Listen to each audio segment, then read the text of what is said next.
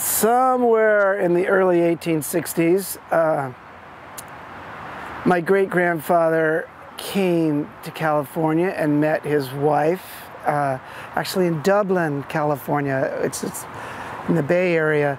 And uh, they had some connections down here, and he would travel to LA or down the El Camino Real back then. And he uh, first uh, raised sheep, because that's what they do in Ireland, grow potatoes and raise sheep, for the 49ers, uh, the, the, gold the gold era of California. Um, but he saved enough money and knew he wanted to buy land and start farming. So um, in his travels up and down California, the tallest mustard plant that he saw off the horse trail, El Camino Real, was here in Oxnard. And he said, well, that's where the tallest mustard grows. It must be the best farmland. And he was right. My father never forced any of us, but we kind of all uh, knew that when we got out of eighth grade and into high school that we were uh, indentured servants in the summertime. we would uh, hoe lima beans, and the hoeing lima beans was what you did uh, when this was the lima bean capital of the world.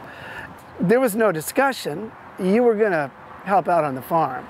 And then when we all got into college, and it was the 60s and 70s, a lot of us did other things. Uh, I had a couple other jobs before uh, officially going to Cal Poly, getting my ag degree, coming back here and working with my dad. Once you do other things, you kind of figure out, wow, farming's not so bad, kind of cool. And uh, it, yeah, you know, just having the legacy and the farmland was, so it was, it was great to start farming. And I started, got it out of uh, Cal Poly in 1978. United's celebrating its 90th anniversary. That means they started in 1927. And I think it was called something else back then, but I've read that they actually diverted water then all the way here to a little community called Springville, which used to be a part of our ranch. It was for the community and for farming purposes because there was already, we didn't have pumps back then. Um, so it was uh, probably a little canal that people would splice off and use water. And uh, I think it was concrete back then, but it was open. I don't think it was underground. And that was in 1927. So the Freeman diversion, which was I think in 1995, we remember being approached by the state of California in the late 80s. And it wasn't a happy subject. They were saying, look, we're going to sue you because you're pumping so much water that all this salt water is coming in. They did 20 year studies. Or we'll give you $10 million and you can come up with $10 million and we'll put a $20 million water project together. That's how I remember it. I hope I'm close to how it happened. Water is the great equalizer. Uh, out of everything that SOAR tried to do, out of all the farmers I know that are, you know, just looking for another way to diversify um, and make money, water is going to humble us all. We can't blame a politician. We can't blame uh, some type of regulation. Water is what is going to make us all become sustainable. We're talking about a problem that we start, we love this. The Oxnard Plain is basically 40,000 acres. And I heard the first accounts of seawater intrusion were actually in 1949.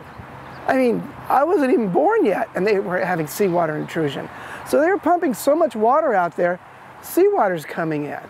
I get it. We need to talk. And honestly, the Freeman diversion and uh, drip irrigation and every other thing we have going for us are still temporary solutions. Uh, water is really what United is all about, and United has been such a saving grace in the long run. I, I love United because they look at bigger, bigger pictures. Maybe we need desal plants. Maybe we need uh, other crops. I, I'm not sure what the answer is, but all of these have worked for a while and then you get a drought and then you go, oh yeah, I forgot. We don't, we're not in charge. So we got to look at sustainability in a much bigger, bigger light. And it, it includes so much. But water's great because we can't blame anybody. United is in the forefront of of water policy and what we can do and what we're capable of. Because I've heard people come from all over the world to see the Freeman diversion. It's a model for uh, water plans everywhere. And that's what I, I, I completely respect what United stands for.